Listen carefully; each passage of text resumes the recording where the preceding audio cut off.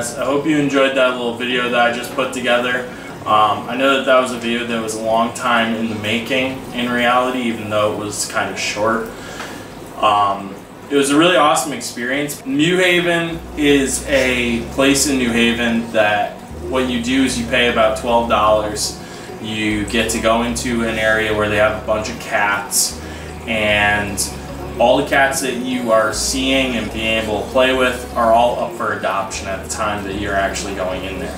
For a set fee, there's one fee for like all the cats.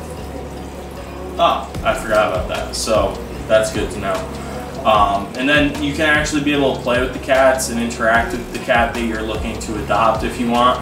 Or you can just go in there and like read a book and have cats like hang out with you or play with the cats, or They have crippled cats too. at the time they had one of the crippled cats, yeah. And it's just a really cool organization. It's a really cool place to go and take a visit. I know that the cat cafe thing is becoming a little bit more popular in the U.S. right now. I would say from our first experience, it was awesome. It was well really worth clean. it. Super clean. Like It I'm allergic to cats, but I couldn't even tell that there was like 17 cats or whatever. Yeah, at the time I think there was 17, and the place was so clean, so nice. Staff was really kind. Um, cats were absolutely adorable. We had a great time. Um, And they don't.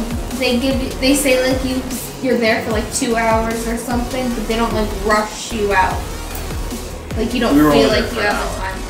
Yeah, you can sign up for two hours, but we were only there for an hour, and like Vic said, it was not rushed. We didn't have, we didn't feel the pressure to have to leave or anything like that.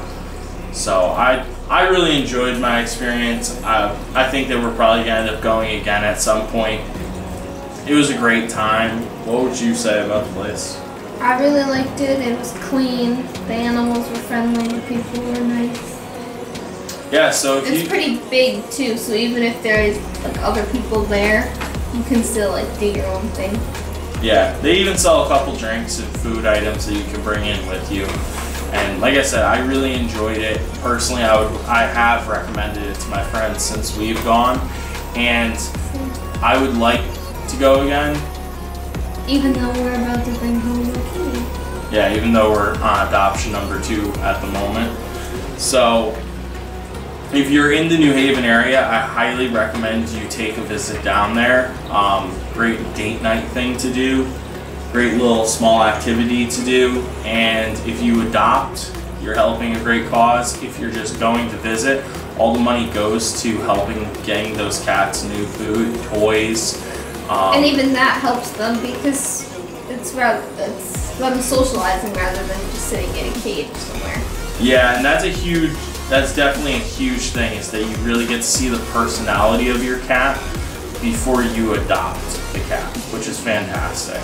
So like I said, if you're in the area, definitely check out Mew Haven. I'll be putting the link to their website down below, so be sure to check them out. Um, if they have any social media links at this time, I'll also be I putting think that they down have below. an Instagram. Awesome. So I'll be I'll try to put that down below for you guys as well. And I hope you enjoyed this. Be sure to share this with your friends, especially if they're trying to adopt a cat. And leave a comment down below telling me what kind of cat you like, or if you're a cat person or a dog person. Uh, I'd be interested to figure out who out there is cat people opposed to dog people.